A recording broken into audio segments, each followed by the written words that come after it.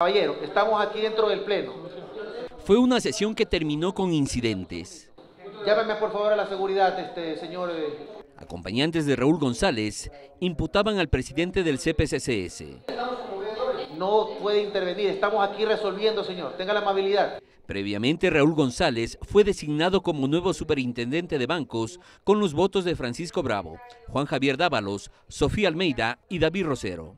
En ese contexto quiero dar mi voto de confianza al señor Raúl González, Se abstuvieron Ivette Estupiñán y María Fernanda Rivadeneira, mientras Hernán Ulloa votó en contra y denunció que González tenía impedimento para ejercer este cargo porque tenía una contratación pública pendiente. Un contrato pendiente con el Estado, siendo el representante legal de la compañía con razón social RGPA Cioli El nuevo superintendente no negó el hecho, pero aclaró que ya es un tema cerrado. un contrato ya caduco. ¿Por qué? Porque ya existió el acta entrega a satisfacción del servicio que se estaba ofreciendo. Raúl González fue el único que quedó en la terna que envió el Ejecutivo en abril de este año. Rosa Matilde Guerrero y Doris Padilla fueron excluidas. Este martes se realizó una primera votación y no hubo los votos para designar a González. Se emocionó su descalificación y pedido de una nueva terna, pero tampoco se consiguieron los votos.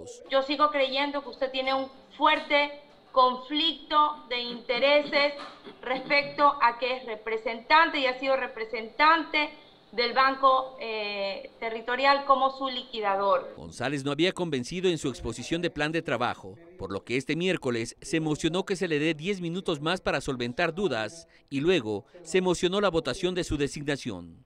Pero yo no voy a elegir a un superintendente que tiene que dar un examen de supletorio o que tiene un conflicto de intereses. En este enredo, Raúl González también denunció que recibió llamadas para abandonar su postulación. Sí me indicaron de que yo presente la renuncia a la terna, a lo que rotundamente indiqué no.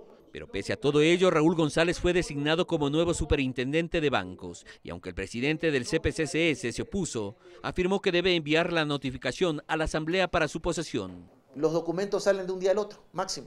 Así quedará en manos de la Asamblea Nacional la posesión del nuevo superintendente de bancos. Gustavo Merino, TC Televisión.